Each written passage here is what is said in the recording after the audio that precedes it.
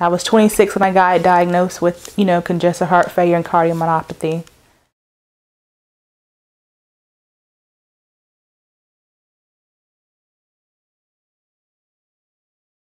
It was back in 2002. I had my daughter, Iniche, at seven months. She weighed two pounds, eight ounces. I had preeclampsia and almost had a stroke. So I had to deliver her early.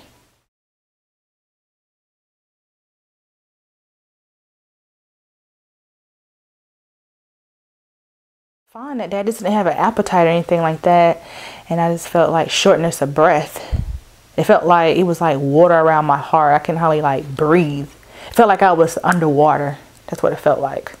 Well, at the time I was with my daughter's father and I was telling him, I said, I can't hardly breathe. Even like laying down, this felt like, again, I was underneath water. So that's when he took me to the emergency room and they ran all different types of tests on me and they found out that I had dilated cardiomyopathy and congestive heart failure. So I have two different types of heart diseases. Well, when she first came, um, she wasn't really sure about what heart disease was, how it would impact her life. She felt very um, depressed about what life meant for her as a heart patient. And we've worked together to help her understand that you can live a very fulfilled life with heart disease. And she has gone on to um, help other people and try and improve their lives. I started Googling support groups and I ran across Women Heart Savannah.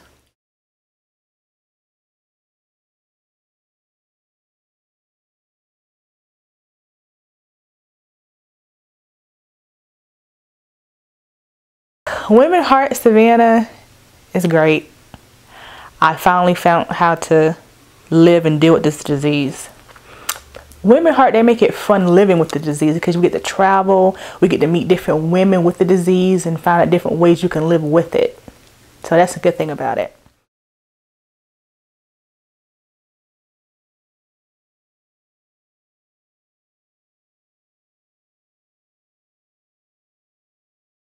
I started Women Heart Hinesville. In I had the kickoff celebration Saturday. I started it because of the lack of support and education here in Hinesville for women. And being that I'm an eight year survivor, I felt, you know, I was good enough to start it and people can learn from me different ways to live with it. We're really working hard to get the message out that heart disease is the number one killer of men and women. And many women think that it's just men. And also we we're trying to hit women because women are the gatekeepers for the family. They are the ones that cook. They're the ones that encourage outside activities social events and all of that's really important when you're trying to combat heart disease because you look at the body as a whole. And um, the heart's the center of it. Women please get checked. I mean it's very simple. And listen to your bodies I was 26 when I got diagnosed with, you know, congestive heart failure and cardiomyopathy. You know, take your health more serious.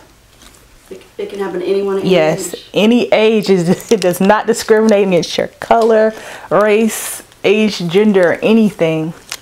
It does not.